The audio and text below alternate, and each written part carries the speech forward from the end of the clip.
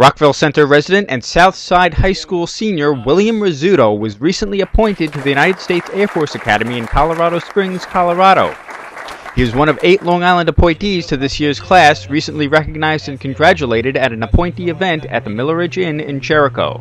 I've always thought about uh, going to a military academy, but since junior year, well, I didn't want to go to the Army. Um, and as far as Navy, I, I, don't like open water. I'm afraid of open water, so it had to be Air Force. Feel good, and I'm looking forward to basic training. And not really the going so early, but I'm prepared for it. So, other than grades, I just tried to um, do my best in the sports that I was in, and tried to do extracurricular activities as much as possible. Uh, I was a lifeguard. I worked with uh, special needs kids in my high school and outside of high school, so that was most of the stuff that I did. I'm ready to serve my country. That's it. That's all I can say about that. Lieutenant Colonel Shorten Fielding from Rockville Centre is the Air Force liaison officer who helped Rizzuto apply to the Academy. I'm rather proud of uh, William, William Thomas uh, Rizzuto. rather proud of him because he comes from the same town that I do. In fact, I've had the pleasure of a number of uh, students both in Rockville Centre and in Oceanside that have uh, made it into the academy. And when you see people from your own town doing this, it, all I can say is a sense of personal pride. You know, our people did it. And when you think of what these young people have gone through in order to reach the pinnacle, if you will, of uh, their high school education and then being appointed to the academy, um, you're amazed because you don't hear about them so often in the press. They don't get the recognition that they deserve. Hear about all the other ones that have fallen by the wayside. And I know that the parents feel extremely proud of them. Some of them are worried about them, and I've used the term many times, it's as though you're taking the cloth. It's a completely different world that they're going into. After a while, they're going to get used to it. It's a very, very proud feeling we have. Um, it's, it's hard to put into words at times. It just sort of builds up inside of you. And it's taken a while for myself, and I think for the other officers that are involved in this. Um, there's a sense of though you're accomplishing something. The people that you're bringing in to replace yourself are dedicated. They've got that fire in the belly, if I use a term, that will make them good officers. And I think you'll find if you question any of these young men and women in here, it, there's a sense of apprehension. No matter how much we tell them about it, no matter how much they see the movies and so on, up until the point they cross that yellow line out at Colorado Springs, have no idea at all what's in for them. And I think this is extremely important, especially in today's world where this country cannot afford to have substandard performers anywhere in its operations. Um, I don't know, I just feel proud to be part of this team. It's that inner drive I look forward um, to seeing in, in the individuals that I interview. Um, there's the desire and the, the commitment to the community. Uh, William has this. Um, he gets involved, he goes to help people. Uh, these are things I consider um, signs of officership when you take the individuals who are not performing well and bringing them forward along with the rest of the people, leaving nobody out. This is exactly what I see in these students that I've had the privilege of interviewing.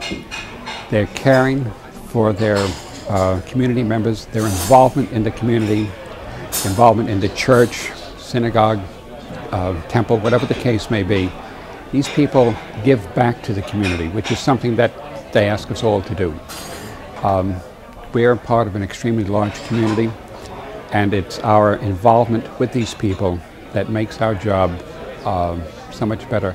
And I think contributes to what you see in today's world where there's a strong pro-military feeling in this country. Uh, these are young men and women. These are your sons, our daughters, and uh, they are, they're giving of themselves. They're giving their lives in many cases, God forbid, but it does happen. they are, they just stand out. There's just something special about them. And uh, I know I go home and when I see my wife. I tell her, Meg, I've just met this young man or this young woman, and by God, these are the things that they've accomplished. And in this case, in William's case, um, he's done it for my community. And that, again, is another source of pride. This is one of our guys. And when people ask, who is he? I said, well, he's an Air Force Academy grad, or he's in the Air Force. Oh, really? And I said, yes. And the first thing that comes to people's mind is the education, um, the training that they're going to receive. And um, every once in a while, you find a young uh, brother or sister coming up and asking you, you know, would you come back to see us again? I said I'd be more than happy to if your parents let me in the house. But it's a, um, it's a sense of service. And it's very, very strong. I use the case my sons, one's a police officer, the other is an Air Force officer. And it's service before self, which is something that we propose here in, this, in the academy. Molloy College history professor Dr. Charles Howlett is also an Air Force liaison officer. He gave the keynote address at the event. What stands out is their leadership, their character, and their commitment to serve their nation. These are exceptionally intelligent young men and women who serve their communities after school, who participate in extracurricular activities, whether it's presidents of clubs, school organizations, and many of them are also outstanding athletes. They represent the holistic person, their ability to do many different things and do them well. And that's what the academies are looking for. Young men and women that not only understand the importance of academics, but are willing to take the challenge and live up to the honor code that separates them from many others in terms of their ability to be honest and their willingness to serve. And in this day and age, when so many men, young men and women are concerned about entitlements, these are the people that are willing to take the risk, make the sacrifice for selfless service. And in the long run, our country will be far better off with these types of individuals when it's their turn to lead this nation. They're going to have to pull up their bootstraps. They're going to have to knuckle under. They're going to find the challenge difficult each day, but they'll persevere because these are exceptional young men and women who wanted the challenge. And indeed, they will be challenged, but they'll be better for it in the end. Chris Collora reporting.